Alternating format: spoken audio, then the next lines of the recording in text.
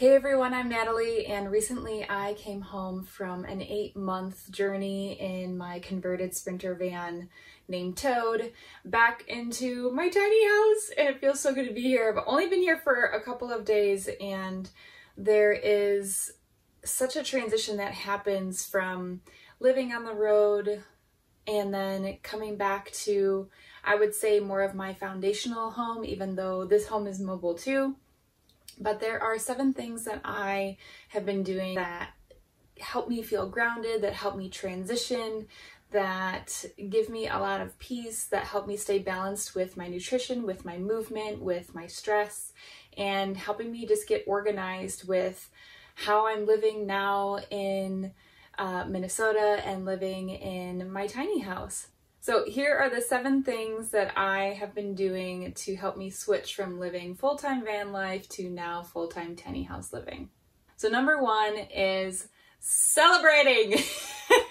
Before you do anything like get back on a diet or like force yourself to the gym or all of those silly, silly things is whenever you're transitioning from one thing to another, it's time to celebrate. And that's exactly what I did when I came home. I had a little bit of work immediately right when I came home, but it was very celebratory anyway. But I was able to have a fire outside um, and friends came over and it was just such a great reflective time to not start unpacking, don't start doing anything on the to-do list, just like it felt so good to just take a breath, take an exhale, to celebrate, to share stories from the winter, to sharing excitement about summer plans. I also celebrated by relaxing. I'm laughing because it's you know, I there's often like you need a reward to be able to like sit and watch a movie on Netflix, but you don't need a, you don't have to work hard to then relax. You can just relax because it feels good in the moment. So I relaxed, I watched a movie, I started a new book, and I am just I'm just loving it. All right, the second thing that I've been doing that I started actually a couple weeks ago was journaling. So it is such a these transitions for me are such a time where like my emotions kind of go all over the place. A lot of times I can just feel numb, like I'm not actually processing what's happening because during spring, time kind of speeds up. When you're traveling, it feels like time is speeding up and you're visiting. We were visiting, uh, my partner and I were visiting friends and family towards the end, the last couple weeks. And so I wanted to really stay in tune with my emotions because then I was, if something were to pop up, like I, I'm less reactive. And so I was really intentional about journaling every day the last couple weeks. And I'm a big journaler anyway, but I particularly focused on identifying my emotion like I am sad, I am excited, I am nervous, and then would go into that. And then I would just feel through the emotion and let it cycle out. And just by identifying what it the emotions are that I'm feeling, even if I'm saying I'm not sure how I'm feeling yet, that within itself gives you a lot of security and just acknowledgement within yourself of how you're feeling in the moment. And that just relieves stress, allows anxious thoughts to kind of be quieted down, and just feels so much better as you transition because you've already been kind of tapping in so that once you get home, you then, or you know, you get to the next experience that I'm just so in tune with how I'm feeling. The third thing that I've been doing is eating really simple. And what I mean by that is few ingredients. In the van, I have been living out of a cooler, and so I'm limited on the amount of food that I can have. Like I just have limited space. And then when I come back to the tiny house, I have a bigger fridge, I have a freezer, luxuries. and I wanted to just continue to eat really simple. Again, there's so many things going on when you know I'm going from one space to another physically, emotionally, um, mentally. And so by keeping my foods really simple, and so what I mean by that is like instead of having a salad with like five different veggies and a really intense dressing, like I'm just doing like two vegetables and a protein and like a simple olive oil, salt, pepper, and lemon juice dressing.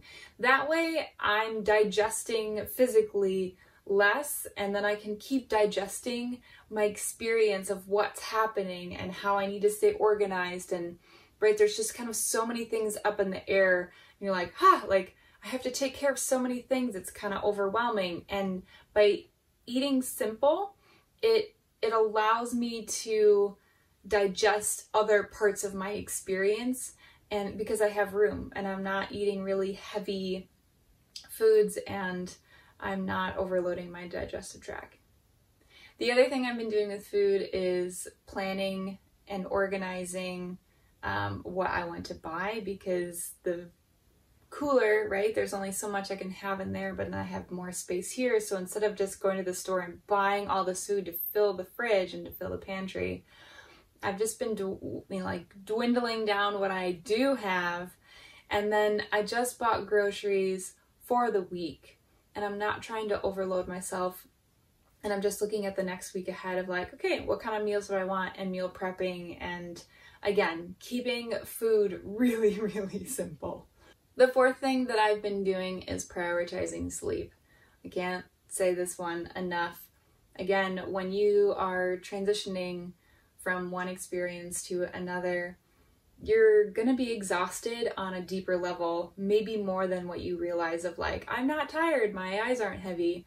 But again, there's so much to digest and it's helpful to just get solid rest. And so what I've been doing in particular is going into my bed like a half an hour earlier than I would, not necessarily to fall asleep earlier, but to just be cozy and to keep reading my novel and to just appreciate the space that this place is.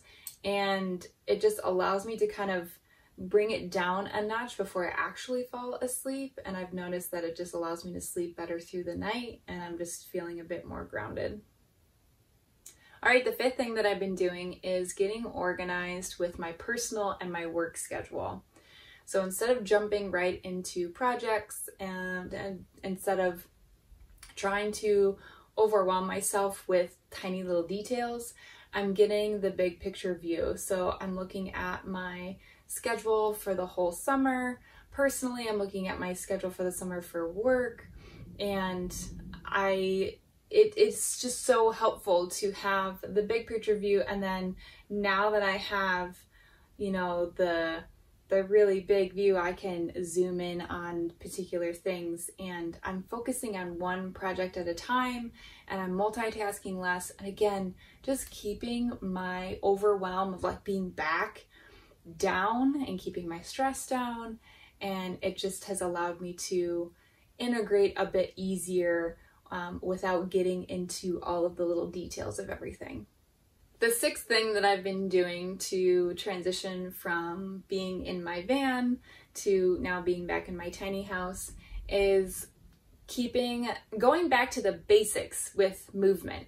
So instead of like starting a new uh, workout routine or trying or just trying something new, I'm going back to the absolute basics. And for me, that's either going for a run or a really fast walk um, and doing what I call hundreds. And so I like to do a hundred rounds um, or 100 reps of push-ups, squats, lunges, and then something with core, like some sort of sit up or when I kind of switch it up. But it just, it's something that it's a no brainer for me. Again, to keep overwhelmed down, to keep the stress down, to allow myself to integrate beyond just what my mind thinks, like allowing my body to integrate back into this space. Like I'm in a different climate and I'm not traveling in the Southwest in my van. So again, to keep things really simple, this kind of goes along the same lines as the food.